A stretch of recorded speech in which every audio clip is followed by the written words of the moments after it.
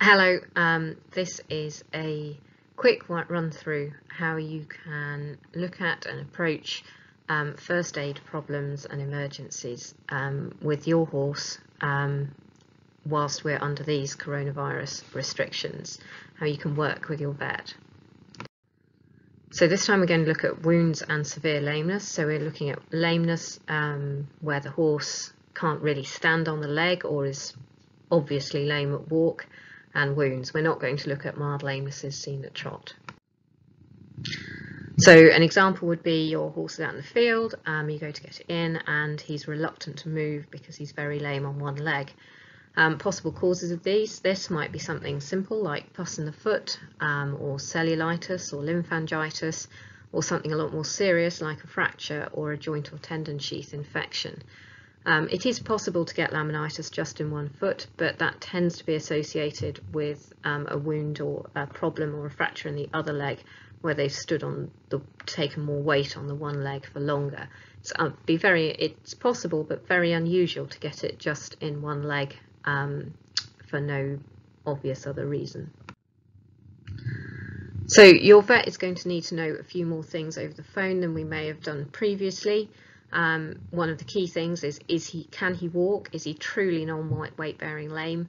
Um, obviously, if he's truly non-weight bearing lame and he really can't put any weight on that leg, then you're not going to try and get him in from the field. Um, he can stay where he is. If he can move, do try and move them um, towards shelter or somewhere where you've got better facilities. Um, is there an area of heat or swelling on your horse's leg? Uh, it may be very large, it may be very small, so have a good feel up and down your horse's legs um, to see if you can find anything that's larger or smaller um, or hotter than the other leg. Um, it's a good idea just to practice doing this daily anyway, and that will allow you to pick up any small changes much more easily and know that they're significant.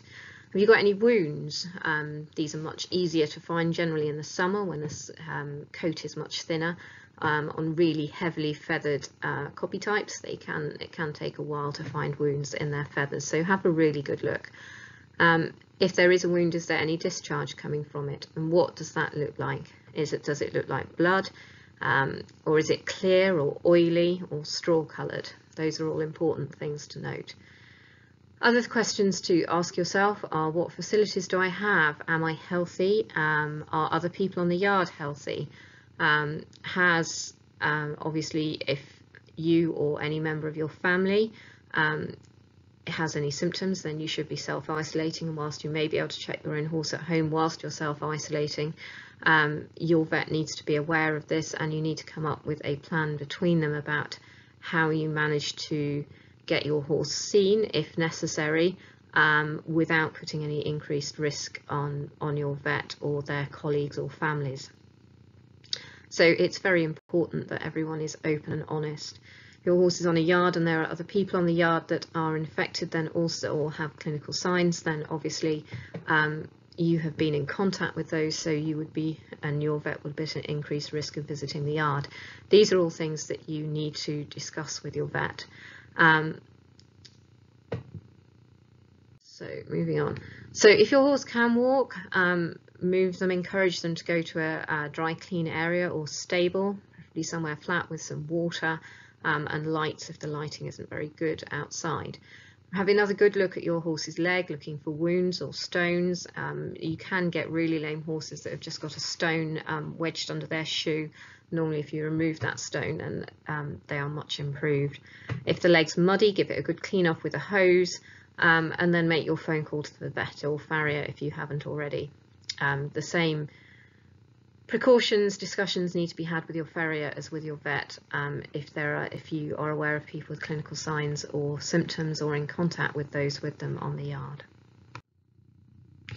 If your horse has a really obvious wound, um, a really obvious break, um, so this may be that the horse's leg is flapping um, or they're really, really sore and they really can't walk, then obviously don't move them further. Ones to be aware of, or if they're really lame and they just have a kick over, or a wound over the forearm, um, those can be non-displaced fractures. So you just, if they're if they're painful with a wound there, try not to move them.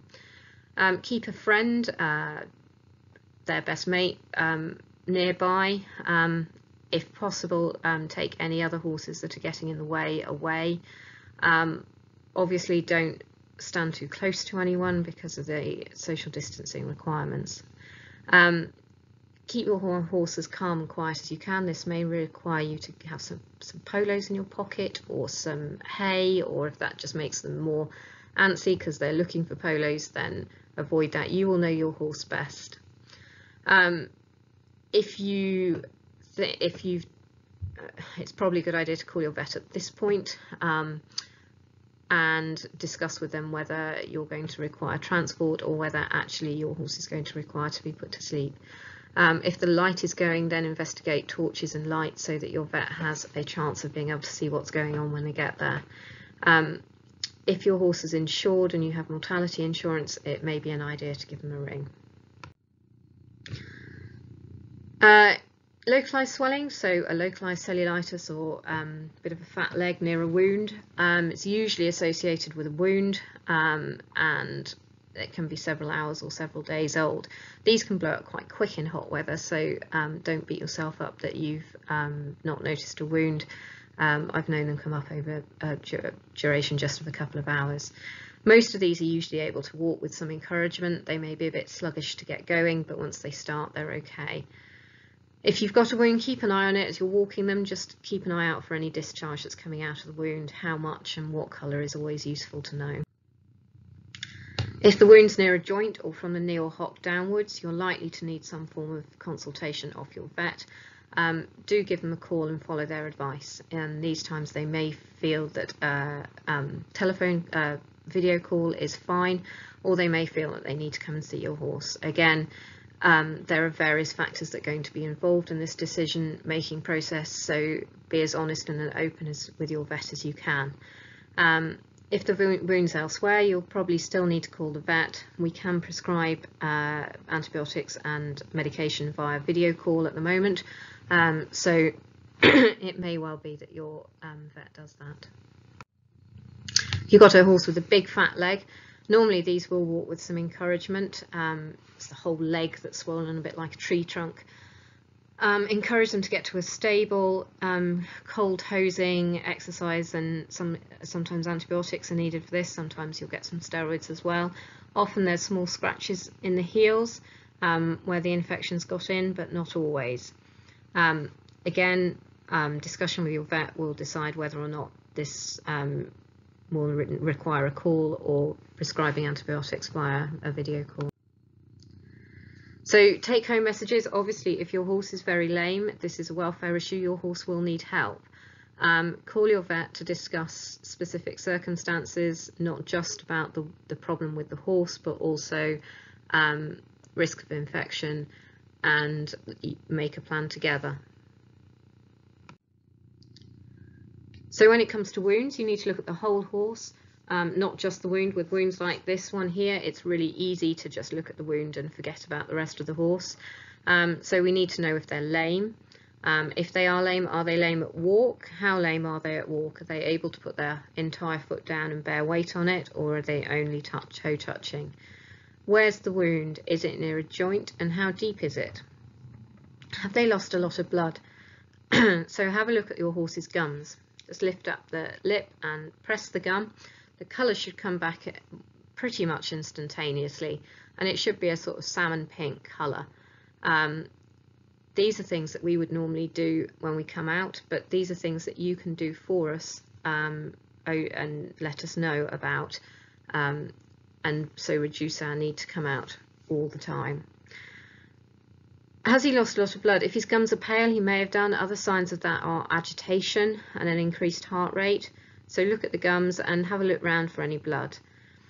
Um, if the wound's large, bleeding heavily or full thickness, so goes all the way through the skin and is near a joint or a tendon sheath um, or synovial structure, then um, you are likely to need a visit from your vet. But again, this should be discussed with your vet. So the wound on the left um, is a big gaping hole in a horse's side. This looks horrific, but the wound on the right, the little innocuous hole over the horse's hock joint, is actually the life-threatening wound of these two. um, the one on the top right, will require surgery to um, flush out the joint. If you've got heavy bleeding, you need to put pressure on the wound. You can use a hand, a towel or a bandage. Don't use tissues, they fall apart and get into the wound and cause more problems than they're worth. Um, so if you don't have any um, proper dressings, then a towel or a clean towel or bandage put on and then wrapped around. Most bleeding will stop if you put firm continuous pressure on it for five minutes. Five minutes is a long time, um, so do keep it on there because if you take it off too soon, the bleeding will restart. If you've got bright red spurting or pumping blood, it's much more likely to be arterial. Um, that's going to need firm pressure on it for more like 10 minutes just because of the increased pressure in the blood vessels. If you've got muscle, like in that previous picture of the horse's side, there, there's lots of blood vessels in there, so you are going to get a decent amount of sort of oozing bleeding. This comes out more as um, a sort of trickly thing rather than um, running blood like a tap or a trickling tap or something like that. That's more of a um, oozing effect. Pressure should help stop that. So how do you do it? You apply a dressing or your clean tea towel or towel and then if you have lots of, if you have cotton wool, use a lot of it when bandaging. You need to because you need to put the pressure on, the cotton wool is important to stop you getting pressure points and causing any other damage underneath the bandage. So you put a layer, put a layer of cotton wool on, wrap a bandage around it um, tightly, and then if it's still bleeding, put another layer on, and you keep going until you um, have stopped the bleeding. Keep the horse quiet and check the colour of the gums and the heart rate again. Um, your heart, horse's heart rate should be about 36 to 40 beats a minute.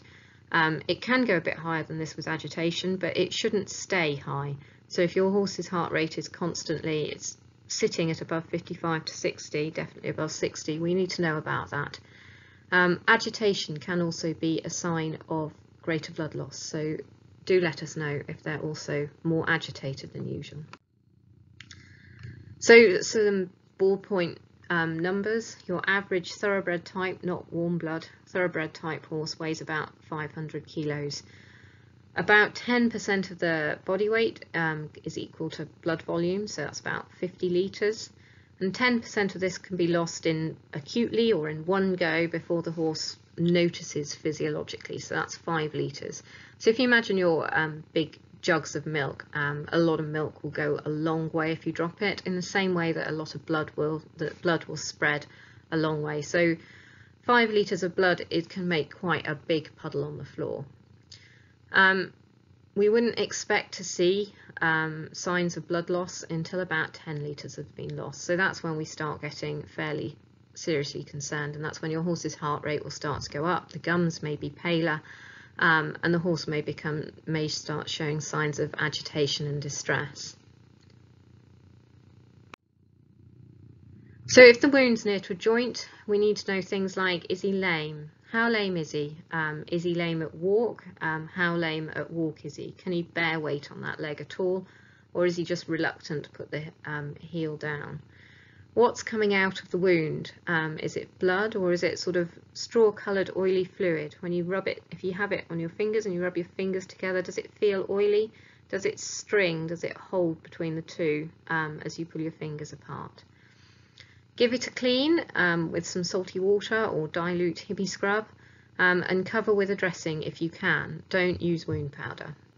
Um, please don't give bute until you've spoken to your vet um, because this can mask signs of pain and we need to know how sore your horse is so that we know how serious um, any underlying structures in the involvement of any underlying structures could be.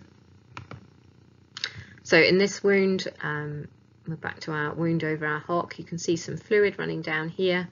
And it's a sort of pink tinged strawy colour. So that's um, the sort of fluid we can get if you have a joint um, involved.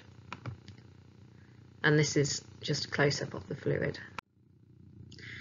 So joints in horses and synovial structures, you've got your elbow, which is actually more to the side of the horse's leg than you might imagine. Um, your knee, your fetlock, you've got your coffin joint, and you can also get into your coffin joint from the side. These blue circles are where you've got tendon sheaths, which are also important structures to try and avoid. And you've got your hock joint here. So any wounds um, that go all the way through the skin in those areas need to be taken seriously, even if they only look tiny. Nails in feet, um, another serious, uh, potentially serious problem. Um, if the nail's gone into the sole of the hoof, try not to remove it.